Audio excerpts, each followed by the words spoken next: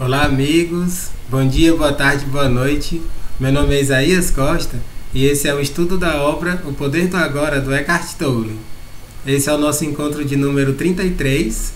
Né? E nesse momento nós vamos dar início ao capítulo 5 desse livro. Né? Eu comentei no último vídeo que a gente ia é, falar né, do capítulo 5, que fala sobre o estado de presença. Né? E, e, nesse capítulo eu tinha comentado né, que ele é mais curtinho, ele tem sessões muito curtas, sabe, gente? As sessões dele são menorzinhas, mas eu, eu desde o começo eu optei por isso, por fazer esse estudo a partir dos tópicos, né? A gente vendo a cada dia um tópico do livro, porque mesmo não sendo tanta coisa escrita, é muito profundo que ele nos traz, sabe, gente? Então, é, eu optei por isso, mesmo que sendo, sendo sessões muito curtinhas, é, veio uma por dia. Então, é, esses, esses próximos vídeos, esse e acho que mais uns 4, 5 pela frente, não vão ser tão longos, né, mas vão ter reflexões muito, muito profundas né, a partir é, do que ele nos traz né, sobre esse estado de presença. Né? Mas antes da gente começar para valer, né, eu faço o que eu sempre faço, né, que é agradecer vocês que estão acompanhando esses, esses estudos pelo canal do YouTube, né, que é o canal Isaías Costa. Convido vocês a se inscreverem, gente. Se não é todo dia que eu me lembro disso, mas isso faz toda a diferença. Se vocês se inscreverem no canal, dar joinha nos vídeos, né? Porque isso faz com que ele chegue para mais pessoas, né? O YouTube ele funciona dessa maneira. Você, é, quanto mais curtidas tem, quanto mais, é, é, enfim, inscritos tem no canal, é, mais pessoas conseguem é, é, ver esse estudo, né? Conseguem acessar esse estudo. Então, eu convido vocês a se inscreverem no canal, né, a dar joinha nos vídeos, né, porque isso vai fazer com que os algoritmos lá do YouTube é, vejam que é algo relevante e coloque para mais pessoas verem, né? Então a gente vai estar tá, é, se ajudando mutuamente, né? Para que esse estudo chegue para mais pessoas, beleza?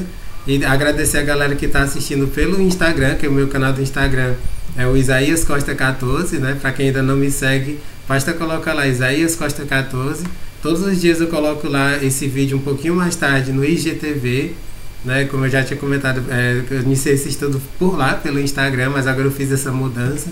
É, mas mesmo assim eu estou colocando todos os dias o vídeo lá no IGTV. Tem muita gente que está assistindo por lá, fico super feliz com isso, né? Com esse feedback bom de vocês, né? Então, é, quem quiser assistir pelo Instagram também dá certo, né? É, indo lá no IGTV, certo? E também o pessoal que está acompanhando pelo podcast, né? Que eu tenho um podcast chamado Para Além do Agora, que é o nome do meu blog. É, é agradecer vocês que estão acompanhando por lá. É bem interessante, gente, porque eu sei que tem pessoas que preferem só ouvir, né? Então, é, é uma possibilidade, né? Para quem quiser só ouvir esses estudos, tá tudo lá, no, tanto no SoundCloud quanto no Spotify. E aí vocês é, veem qual é a plataforma que vocês acham melhor para acompanhar esses estudos, tá certo, gente? Então, é, feita essa introdução, vamos é, dar início né, a esse capítulo 5 do livro e falar sobre esse estado de presença. Essa é a temática desse estudo de hoje. O que, que é esse estado de presença? Então, é, ele sempre começa com um questionamento, ele traz um questionamento e em seguida traz uma série de reflexões a partir desse questionamento. Aí ele diz o seguinte: o questionamento. É, você continua falando que o estado de presença é a chave. Acho que compreendo a ideia mentalmente, mas não sei se alguma vez vivenciei esse estado. Imagino que seja. É do jeito que eu penso ou é algo completamente diferente? Ou seja, a pessoa que está fazendo esse questionamento, ela está falando que tem alguma ideia do que seja esse estado de presença, tem alguma noção do que seja, mas tem dúvida: será que é o que eu penso? E aí a resposta dele é super contundente, ele já vai direto ao ponto. O que, que ele diz? Não é o que você pensa que é. Simplesmente não é o que você pensa que é. Não podemos pensar sobre a presença, nem a mente pode entendê-la. Compreender a presença é estar presente. Essa frase ela diz tudo. Compreender a presença é estar presente. Uma das coisas que eu sempre digo, gente, é existe uma diferença profunda entre presença, né, entre, entre compreender e entender esse estado de presença. Quando você fala de entender, você está falando da mente. Outra coisa é você falar de compreender. Compreender significa algo que já passou pela mente, que foi internalizado. Quando você compreende alguma coisa, é você foi além da mente. Então é preciso a gente compreender e não apenas entender. É isso que o Eckhart Tolle está falando. Quando você quer só entender alguma coisa, você não foi no, na profundidade. Mas quando você compreende, é porque você já passou do nível do mental e já está no nível que está unindo tanto o mental como o emocional, o ser, né? Você já está adentrando o ser interior. Não é bonito isso? São palavras muito parecidas, entender e compreender, mas elas têm significados bastante diferentes. E quando se trata de estado de presença, aí que é diferente mesmo. É preciso compreender e não apenas entender. Tá certo, gente? E aí ele continua. É, faça uma experiência rápida. Feche os olhos e diga: Imagino qual será o meu próximo pensamento. Depois fique bem alerta e espere pelo próximo pensamento. Haja como um gato espreitando o buraco do rato. Que pensamento será que vai sair do buraco do rato? Experimente já. Essa comparação que ele faz com o buraco do rato eu acho tão interessante porque é uma linguagem muito simples e muito prática. É que ele está falando, gente, sobre você entrar no estado meditativo. Quando você faz esse experimento né, de fechar os olhos, né, respirar profundo e se conectar com o momento presente, ao você fazer isso, né, você entrando nesse estado meditativo, você consegue ter um controle sobre os seus pensamentos.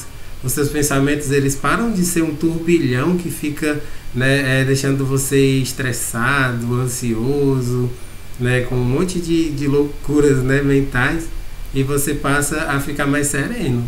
Quando você busca a meditação como esse exercício né, para você entrar no momento presente, né, você consegue é, realmente acessar esse estado de presença e fazer com que os pensamentos eles não sejam tão é, barulhentos. Né? Você diminui esse barulho mental para entrar no estado de presença.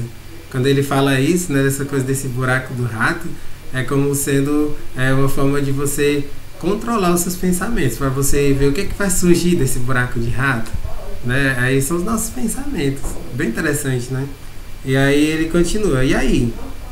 É como ele perguntando, aí o questionamento da pessoa. É, tive de esperar bastante tempo até que surgisse um pensamento, ou seja, é um estado de meditação. E aí ele responde exatamente. Enquanto estamos no estado de presença intensa, estamos livres do pensamento. Estamos quietos embora alerta. No instante em que a consciência desce abaixo de certo nível, os pensamentos surgem aos borbotões. O ruído mental volta a aparecer e perdemos a serenidade. Estamos de volta ao tempo. Quando ele fala esse de volta ao tempo, é aquele tempo psicológico que a gente viu em estudos anteriores, né, que, eu, que eu fiz lá no Instagram, né, falando que esse tempo psicológico é quando a gente fica preso ao passado principalmente as nossas memórias negativas do passado, ou então se projetando demais no futuro. O tempo psicológico ele nos afasta do momento presente, do aqui e agora.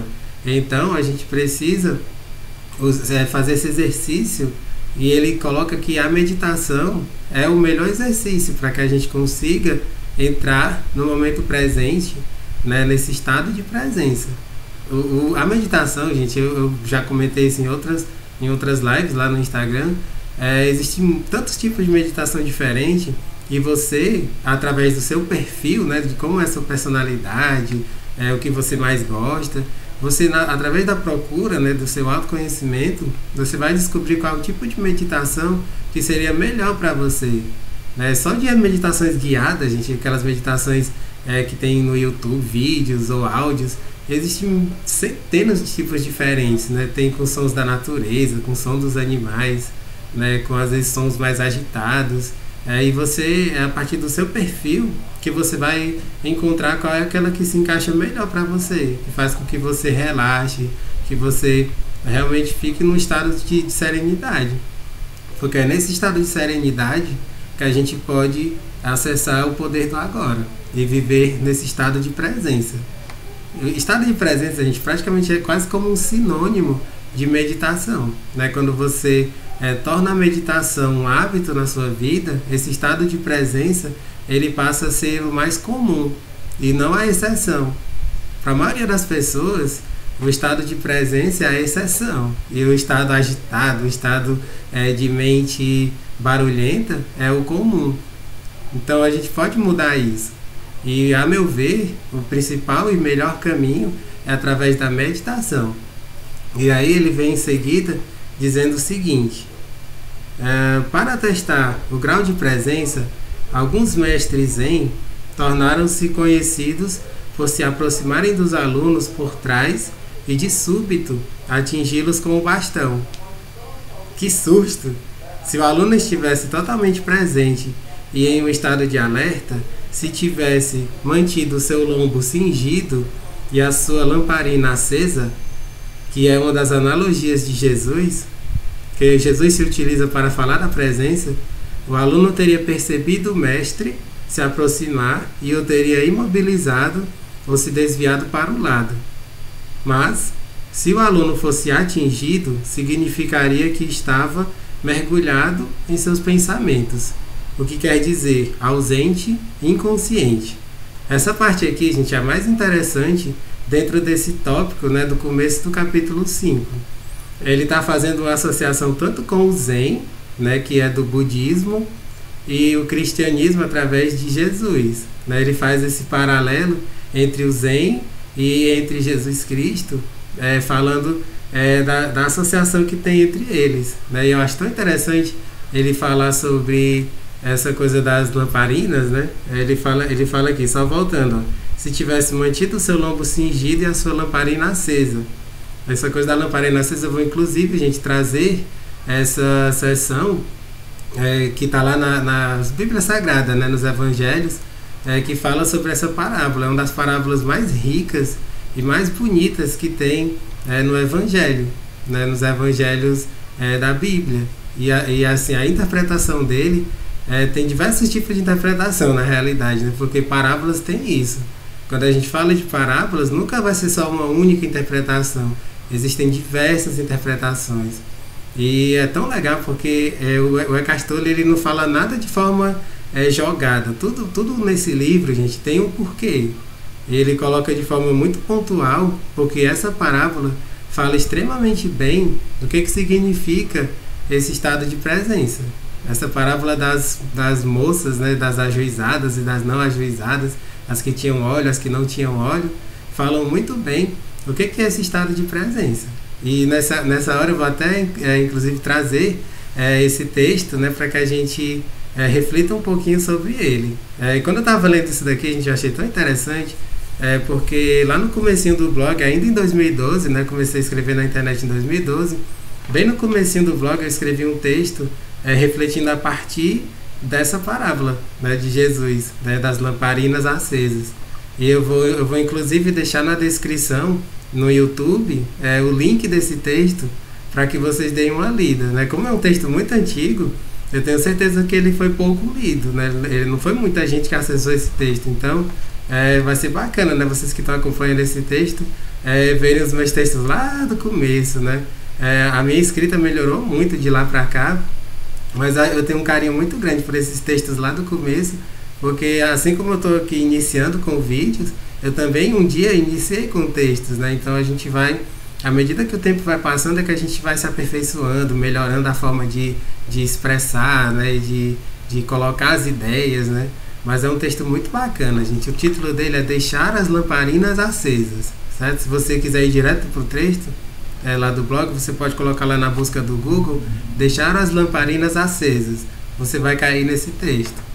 E nele eu faço uma reflexão super bacana a partir dessa parábola de Jesus, das lamparinas. Então vamos lá, gente. Eu, eu vou ler né, essa passagem da Bíblia e também vou colocar na descrição do YouTube, tá? Para quem quiser ler, para quem quiser compartilhar no Facebook, Instagram, né? É uma passagem super conhecida, né? Você pode até pegar da própria internet como um todo também. E ela diz assim: Jesus disse é, naquele dia, o reino do céu será como dez moças que pegaram as suas lamparinas e saíram para se encontrar com o noivo.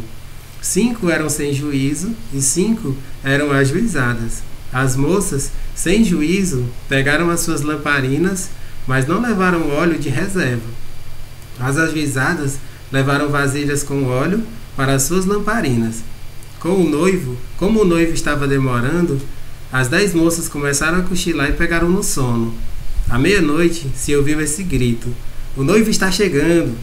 Venham se encontrar com ele. Então as dez moças acordaram e acenderam as suas lamparinas. Aí as moças, sem juízo, disseram às outras: Deem um pouco de óleo para nós, pois as nossas lamparinas estão se apagando. De jeito nenhum, responderam as moças ajuizadas. O óleo que nós temos não dá para nós e para vocês. Se vocês querem óleo, vão comprar. Então as moças, sem juízo, saíram para comprar óleo, e enquanto estavam fora, o noivo chegou. As cinco moças que estavam com as lamparinas prontas entraram com ele para a festa do casamento, e a porta foi trancada. Mais tarde, as outras chegaram e começaram a gritar: Senhor, Senhor, nos deixe entrar. O noivo respondeu: eu afirmo a vocês que isso é verdade. Eu não sei quem são vocês. E Jesus terminou dizendo: Portanto, fiquem vigiando, porque não, é, vocês não sabem qual será o dia e a hora. Essa, essa passagem final é, tem até outras passagens da Bíblia que falam sobre essa mesma frase, né? Vocês não sabem qual é o dia e a hora. E aí é, é muito associada àquela, àquela frase, né? Orai e vigiai. Quando a gente fala de orar e vigiar, é que a gente consiga estar muito presente, a gente consiga é, é, fazer com que a nossa vida seja completa no agora.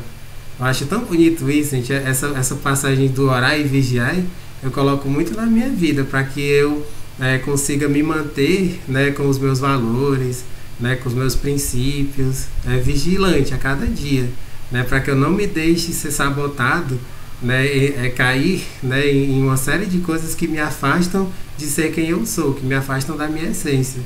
Isso, gente, é estado de presença, em outras palavras, sabe?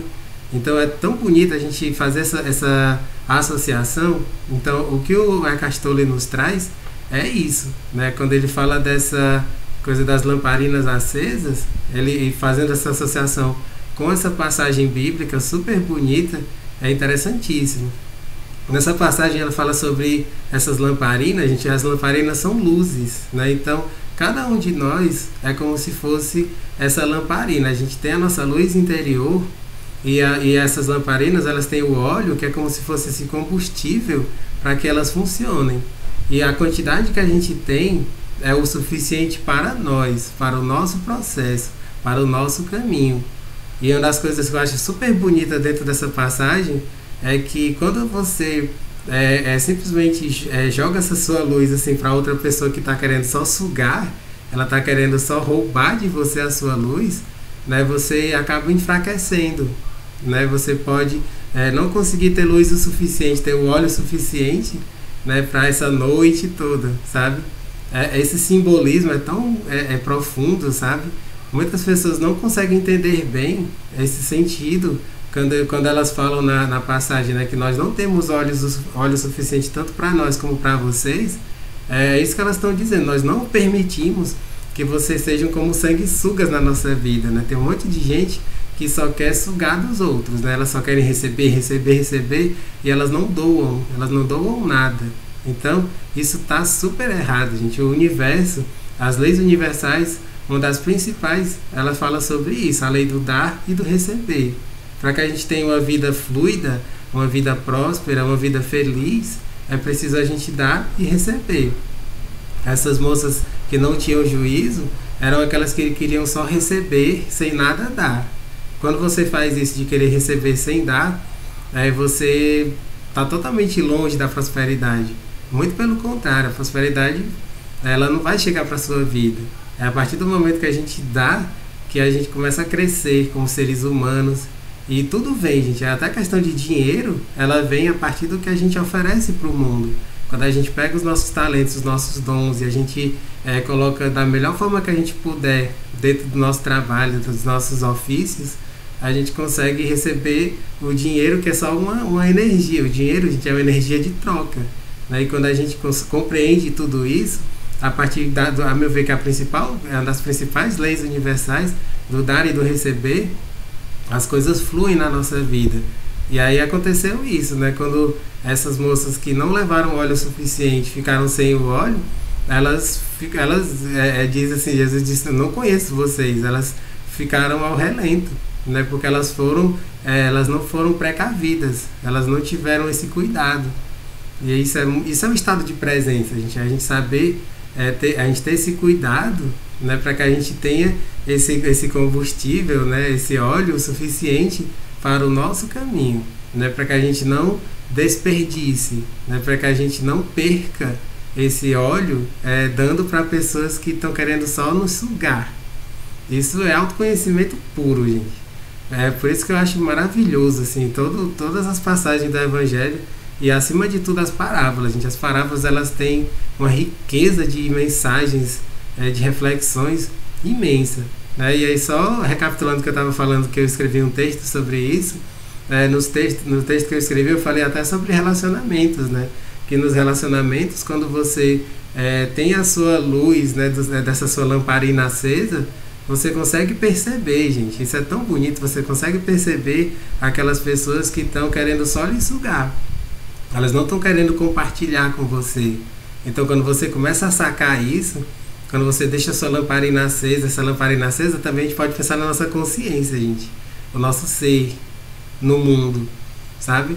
E aí, quando a gente deixa essa lamparina acesa, essa consciência expandida, dá pra gente perceber quem são aquelas pessoas que estão se aproximando de nós querendo apenas sugar nossa energia. Então, a gente não permite. É como diz nessa passagem: eu nem conheço vocês.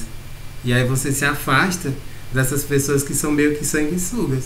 E nos relacionamentos é assim, não só nos relacionamentos amorosos, né, que isso acontece de forma ainda mais veemente, mas nos relacionamentos humanos mesmo, amizade, trabalho, aquelas pessoas que estão querendo só sugar a sua energia, né, roubar a sua luz, não permita isso. Deixe a sua lamparina acesa com óleo suficiente apenas para o seu caminho, para o seu progresso. Quando você deixa a sua lamparina acesa, você ajuda é, a acender as lamparinas dos outros. É como uma associação até com a vela, né? A, a lamparina acesa você pode fazer a comparação com a vela. Quando você acende a sua, quando você deixa ela acesa, você pode ajudar para acender as luzes das outras pessoas. Beleza? A gente tem muito, muito mais que a gente pode é, refletir a partir dessa parábola de Jesus, mas eu quis trazer o que seria o principal dentro dessa reflexão que o, Eckhart Tolle traz nesse comecinho do capítulo 5, certo? Então vamos lá, retornando aqui para o livro, né, onde eu tinha parado, é, ele diz assim, é, mas é, se o aluno fosse atingido, é, significaria que estava mergulhado nos seus pensamentos o que quer dizer ausente, inconsciente. Aqui ele está comentando sobre o Zen, né, que no Zen é, os mestres eles faziam isso, eles davam uma cacetada com o bastão como uma forma, ó, acorda, você precisa voltar para o agora. Né? Não era na maldade, gente. Eles, tem muita gente que não interpreta direito isso, pensa que essa batida com bastão era maldade. Não, gente, é para poder a pessoa acordar, ou acorda, né? Então, é, volte para o momento presente. É tipo isso, não era aquela batida para querer que a pessoa se machuque, fique é, sangrando, se, seja hospitalizado, nada disso. Era só um se liga, um acorda. Volte para o momento presente. O Zen tem muito disso, gente. Eu, eu com certeza em, em, outras, em outros vídeos mais para frente eu vou trazer outras reflexões, é, talvez até textos, né, que falam sobre o Zen, sobre a, a, a filosofia que está por trás do Zen. Inclusive, uma coisa que é super bacana, gente, que, eu, que é bom comentar, Jesus Cristo, ele foi uma pessoa que bebeu muito é, da sabedoria oriental. Muita gente não sabe disso, mas Jesus era um profundo estudioso do hinduísmo, do budismo.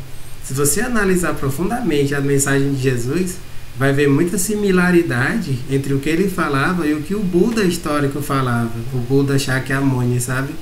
Isso não é por acaso. Isso é porque Jesus era um profundo estudioso.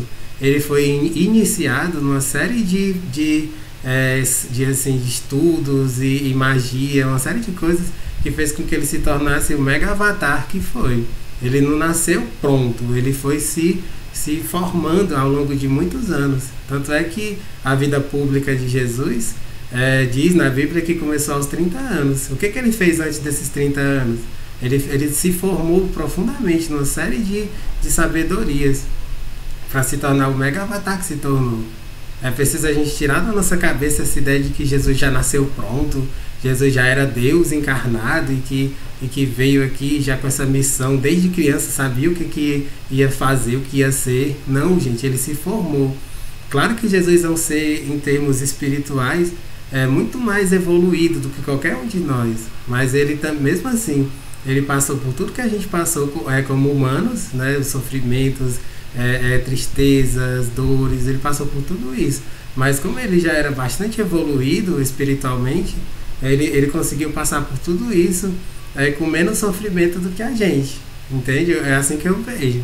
É legal a gente pontuar um pouco sobre isso para que a gente tire ilusões a respeito de Jesus, né? que a gente tenha uma visão é, mais humana dele, sabe? A gente consiga ver Jesus de uma forma mais humana e menos divina, né? É, eu, eu, falo isso, gente, com, com toda, assim, reverência, assim, porque Jesus tem um lado divino dele muito grande, né? Extremamente profundo, né? Jesus como humano e divino, né? Mas é, nós somos essa semente também de humano e divino. Quando a gente busca o autoconhecimento, se aprofundar nisso, a gente pode, aos pouquinhos, se tornando um pouquinho mais parecido com Jesus. É assim que eu vejo. É tão legal isso, né, gente? Tão bonito. É, faz com que a gente é, expanda a nossa consciência, a gente consiga ver um pouco além. Tá certo? E aqui ele já vai se aproximando do final né, dessa sessão e ele vai dizendo assim: né, é, para ficarmos presentes no dia a dia, ajuda muito estarmos profundamente enraizados dentro de nós. Do contrário, a mente, que tem um impulso inacreditável, nos arrastará com ela como um rio caudaloso. Ou seja, o rio caudaloso é aquele rio que vem com toda aquela força, né? Esses são os nossos pensamentos, né? Quando ele vem com esse rio caudaloso, o rio caudaloso a gente vê que ele destrói tudo quando ele vai passando, né? Até rochas, ele consegue fazer com que rochas é, sejam rachadas e tudo mais. Isso é a nossa mente barulhenta. Ela tem esse poder destrutivo para nós, assim, internamente a gente vai como que se destruindo pela ansiedade, né, pelo medo, pelas preocupações, e aí vão gerando doenças, vão, nossa, é tanta coisa. E aí essa comparação que ele faz com esse rio caudaloso, a gente pode levar para nossa vida com certeza. Porque é, é, como se fosse isso, né? É um rio que vai destruindo, né? E vai, por onde ele passa, ele vai destruindo. E, e não é que a gente destrua os outros, é que é como se a gente fosse se autodestruindo, né? Gerando doenças, preocupações, ansiedade, medo, culpa, remorso, uma série de coisas. Então, que a gente consiga, a partir do estado de presença, eliminar tudo isso. Essa é a ideia da Castor, que a gente elimine tudo isso. E aí vem aqui o questionamento final que ele diz: né, o que você quer dizer com enraizado em seu ser interior? Né, enraizado no seu interior. E aí ele diz: é, significa ocupar o corpo completamente, ter sempre a atenção concentrada no campo energético interior do corpo. Sentir o corpo bem lá no fundo, como se diz. A consciência do corpo nos mantém presentes. Ela nos dá uma base firme no agora. Aqui, gente, tem até uma observação no livro é, de você ver o capítulo 6. Isso aqui é quase uma introdução ao que vai ser visto no capítulo 6, né, que fala muito sobre a questão do corpo de dor. Né, o capítulo 6 é um capítulo bem longo, é, provavelmente é o, capítulo, é o capítulo mais longo desse livro e fala muita coisa de metafísica, né? No capítulo 6, a gente vai ser o que eu mais vou falar de coisas relacionadas com a metafísica, que vai ser, vai, vai ser muito bacana, gente. Vocês vão acompanhando esse estudo que ainda vai vir tanta coisa boa, tanta coisa legal pela frente. E aqui é como se ele estivesse já dando uma antecipada, digamos assim, a isso, né? Então, a consciência do corpo nos mantém presentes. Ela nos dá uma base firme no agora. E para que a gente tenha consciência corporal, mais uma vez eu retorno para o comecinho desse vídeo. A meditação, gente, quando a gente busca um tipo de meditação que se adeque com quem nós somos, com a nossa personalidade, com o nosso jeito de ser, a gente vai ter mais consciência do corpo. E tendo mais consciência corporal, a gente se ancora no momento presente, no aqui e agora. Mas isso são coisas que a gente certamente mais para frente vai estudar com mais minúcias, mais é, se detendo mais, né, e trazendo outros exemplos, outras coisas, tá bom, gente? Então, é, só é, recapitulando o que eu falei, né, que eu, as coisas que eu trouxe hoje, né, tanto do texto que eu li da Bíblia, né, quanto o texto que eu escrevi, eu vou colocar na descrição do YouTube, né, para quem quiser ler, acessar e compartilhar nas redes sociais, né, e façam isso, gente. Quanto mais a gente compartilha, mais a gente vai crescendo juntos nesse caminho de evolução, né? Nunca fique com coisa só para você. É, compartilhe, né? Essa, essa coisa do compartilhar vai se tornando um hábito e a gente vai crescendo junto com os outros. Né? Eu acho isso maravilhoso. Né? Eu alimento demais isso em mim e incentivo você a fazer o mesmo, né?